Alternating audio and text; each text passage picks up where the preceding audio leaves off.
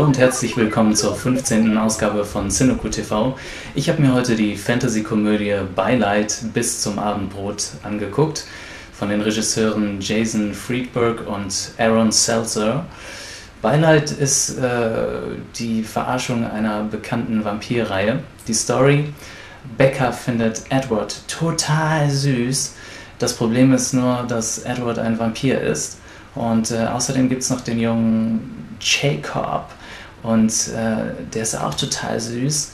Der ist allerdings ein Werwolf, beziehungsweise in diesem Fall ein Wehr-Chihuahua.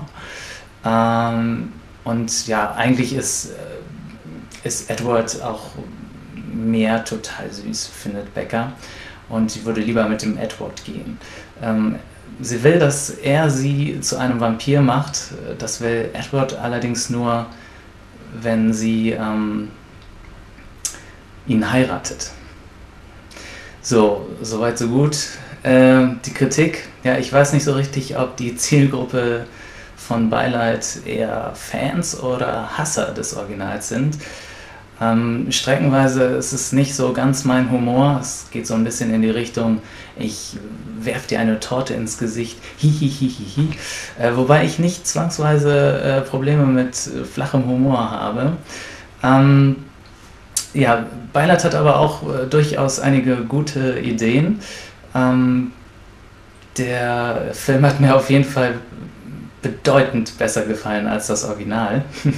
Äh, von dem habe ich auch äh, nur, glaube ich, den zweiten Teil gesehen. Äh, die Darsteller sind optisch ja, nahezu perfekt gecastet. Ich ähm, habe kaum einen Unterschied gemerkt zu den Originalfiguren. Also wenn man mir nicht gesagt hätte, dass das hier die äh, Verarschung ist, ähm, hätte ich es, glaube ich, nicht gemerkt. Äh, ich gebe dem Film zwei von fünf Sternen. Und äh, der Film startet am 9. September 2010, ist freigegeben ab 12 Jahren.